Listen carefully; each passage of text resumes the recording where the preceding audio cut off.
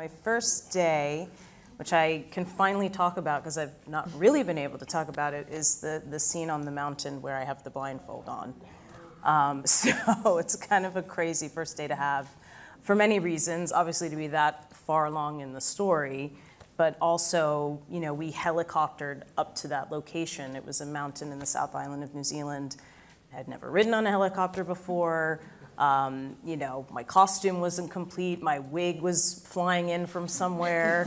um, so it was all sort of coalescing on this first day, and um, and I had nerves because I, I, had never spoken as this person. You know, you do all this research, you you read what you have, um, but I didn't even have all of the scripts leading up to that episode. So, you know, it, it, was one of those challenges that you get as an actor that just due to logistics, it's yeah. it just is what it is. It's not what anybody aims to try and you know have be the case. But um, I really felt the energy and support that day of that core group of actors on the mountain.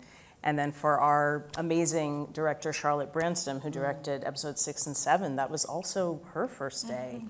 Um, it was Lloyd's first day. Yeah. Um, it was a lot of first days for us. So, you know, I it's interesting for me to see it now. You know, I just watched episode seven myself a couple days ago for the first time, and you sort of have the dual experience of the character you're inhabiting, but then it's just you as a person. There's so many things, you know, I'm on a mountain, I'm in New Zealand, I'm working on Lord of the Rings, you know, the, I was sort of having a lot of um, thoughts that day, but um, yeah, it's it's incredibly satisfying to to see it, and also to know that there was all of this laying of foundation right.